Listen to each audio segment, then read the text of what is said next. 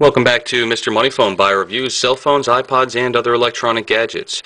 Today we're going to show you how to set up an email or a new email address uh, on your new iPhone 5. So, uh, if you first boot up your iPhone 5 and you need to set up your email and haven't done so yet, you could simply click on the Mail button and it'll go ahead and prompt you to set up that email.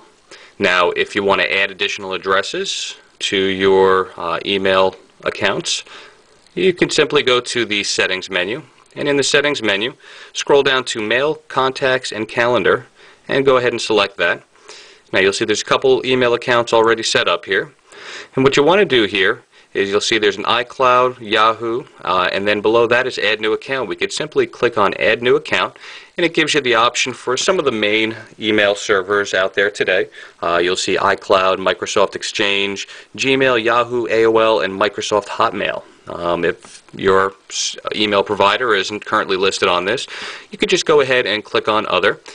And you'll have to go through each of these options and set up your mail account. You'll need to go ahead and obtain the incoming and outgoing mail server uh, from your email provider. And you can go ahead and enter that information there. And that's pretty much how to set up a new email account on the iPhone 5. Well, we hope you found this video helpful. If you did, feel free to give us a thumbs up or leave a comment down below, or feel free to subscribe to our YouTube channel.